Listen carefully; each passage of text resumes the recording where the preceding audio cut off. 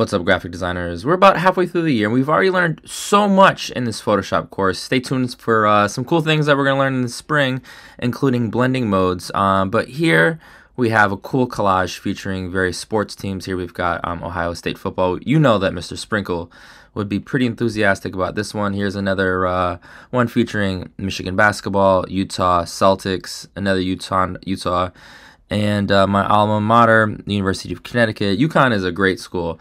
And these are all well and good, but these are relatively simple. What we're going to do is we're going to think about how to uh, embed players, specifically um, LMU girls basketball players, into a map inspired by this Ohio image. So here we've got Ohio. Here we have, we've got actually another Texas one that I will. Uh, here we got the Texas takeover, and I think this is also pretty cool. So we're gonna feel inspired uh, with this.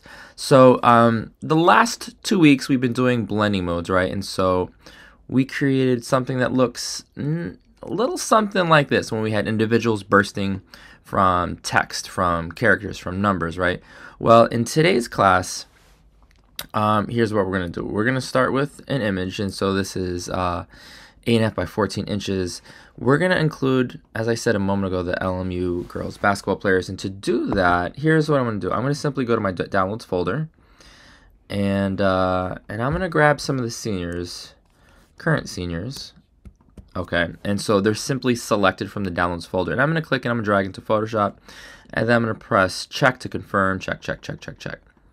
Okay, beautiful. Um, all right, and so now what we're going to do is we're going to embed these images into this New York City map, kind of like what the graphic designer did uh, here with this map of Texas. And to do that, you may recall, we're going to need to select the... Um, the, the New York City uh, five boroughs thumbnail. I'm going to hold command. I'm going to click the thumbnails. And when I click it, you can see that there's a selection. I will now click on uh, Lucy. Why not? I'm going to click layer mask. And now what we can do, of course, is use the move tool. And actually, before we use the move tool, we're going to want to click the little paper clip to unlink it. I'm going to click the Lucy thumbnail. And so now I can shift her anywhere I want. And so let's say hypothetically, Let's shift these guys over. We wanted her on Staten Island. Why not? So what we can do, you may recall, is to reveal this part of her of her face, right? We don't want to conceal her face. That would be weird. I'm going to click on the layer mask itself.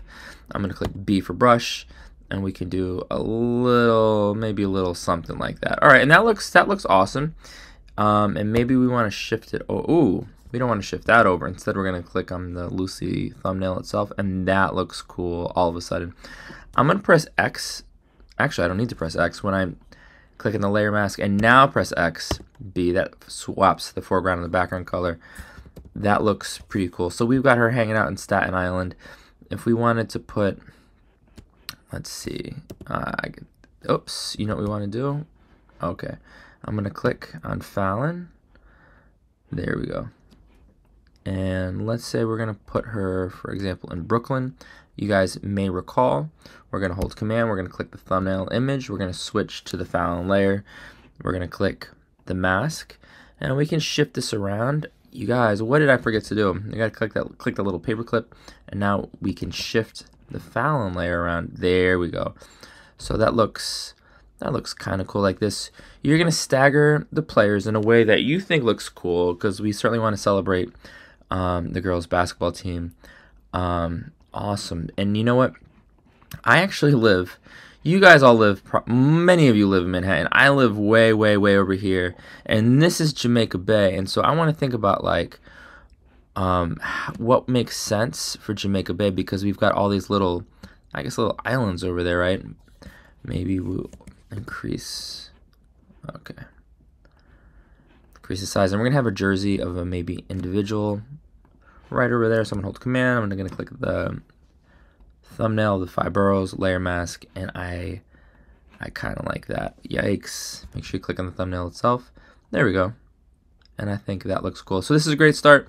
We're going to be inspired by this um, and maybe this. Let me know if you have any questions. Good luck.